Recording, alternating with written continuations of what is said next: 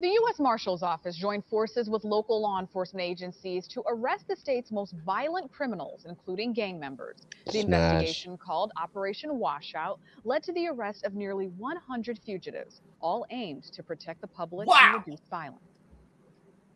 Following a four week multi agency investigation, the U.S. Marshal's Office announced they have nabbed dangerous criminals off the streets during this news conference. Now think about it. They've they've picked up a hundred guys. There's no talk of and on all these are mostly no knock warrants, right? Or hmm. a lot of them, right? And even if they're not no knock warrants, they're fucking they're knock warrants and they're fucking knocking down doors. That's a hundred different people. No one in the city knew anything about this until they made the announcement. They work stealthily. They work in the cover of night. They go to the place they go to. They have their they have their protocols, their operations, their little measures, their tactics. They in and out. Boom. If you're fucking if you're fucking not looking out your window, they might could get your fucking neighbor and you wouldn't even know it. And in and out and be gone before you fucking even realize what happened. These people are should be commended a hundred fucking times in the last fucking couple of weeks. They fucking nabbed fucking Sudman in this one city. Violent, dangerous guys got them off the street, and no one fucking would know if they didn't make this press conference. Hey, Ak, you know what? That was a very, very common thing in the late 80s and early 90s when the crime bill was here. That was a common thing where 150, 200 people would get nabbed in one day. telling you. Yeah, they talk about the slave catchers. Well, listen, man, you should be thankful for the slave catchers, man. Mm. Yo, I the liberals tell me that incarceration is not the solution. Well, she let listen, man. They snatched all these dudes up, and no Breonna situations. No, none of these guys shot a cop. Right. None of the cops shot any of them. That remember we heard that they needed to get rid of that. They need to stop doing that because one fucking bitch got shot when her Mm. boyfriend shot the cop first. Right. If you don't shoot the cops, these things have a 99.99999 success ratio. Right. And I this arguably this operation arguably saved somebody's life for the time being. Oh yeah. A lot of lives. The investigation, A lot the of U.S. lives. Marshal's Office announced they have nabbed dangerous criminals off the streets during this news conference. But this press conference here today is about when you do something wrong, you will be held accountable. A major statewide sweep of 95 fugitives, including gang members, stopped in their tracks through an operation dubbed Washout. I know we have a long way to go. Uh, the murder rate in Baltimore, in particular, is unacceptable, but we have made significant strides this year.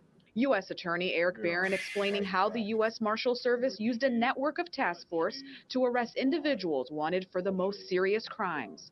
The U.S. Marshal Service and our federal, state, and local partners will find you and you will be held accountable. Operation Washout began on May 1st and ended on May 26th. An initiative, Police Commissioner Michael Harrison says, makes communities safer. As a result of this operation, the following arrests were made, among others 17 homicide arrests, 16 attempted murder arrests, 19 robbery arrests, and 19 first degree assault arrests. Yo, that made the neighborhood very much safer. Jesus Christ. All those Yeah, guys They're doing the Lord's work. they're taking off the street like poof. It's like it's just like you don't have to. It's not no big deal. It's no police chase down the street. It's no fucking guy running through alleys with a bunch of cops chasing them. There's no fucking highway with the helicopter. It's just doom, snatch him up, throw him in the car, off. If you're the fucking on the block, if everybody, if they do it at fucking five in the morning, no one even knows. Like it's just it's it's it's clean. It works every time. Nothing ever goes wrong. Hey, ah, it's gonna be quiet for a little while, but I'm telling you, when all these new niggas go to pick up the swords that all those niggas dropped, Oh yeah. there's going to be chaos in in Baltimore. Oh, without a doubt. Without a doubt. But this this right here is good though. I think I think it's good because you just you you, you got to keep doing this. You got to keep doing this, and then you got to once they once the once the boys jump off the porch, you got to go get them. You just got to keep doing this and keep doing it and keep doing it and keep doing it, and don't worry about the disparities and who's getting locked up because we know it's gonna Hey. be a fucking disparity. They did they did this in the 90s, yo. They cleaned up America in the 90s. They've got everybody, dog. Right. They they just gonna have to ignore the sisters, like Yeah, ignore the sisters, man. Yeah, exactly. Great Yeah. point, man. Others, 17 homicide arrests, 16 attempted murder arrests, 19 robbery arrests, and 19 first degree assault arrests. The operation extending into Prince George's County. I am the newly elected sheriff of Prince George's County, John Carr, and I can say we are changing the narrative, not only here in Prince George's County, but throughout the state of Maryland. Steering clear of details about the investigative tools used, Commissioner Harrison says the success of Operation Washout makes our community a little safer. We have taken a number of violent repeat offenders off of Look the at this shit. So the police chief of Baltimore is a black guy. Sheriff of Prince George's County is a black guy. The head of the U.S. Marshals, a black guy. I mean, and they've sold gliders that policing in this country is inherently and nakedly racist. right. Core.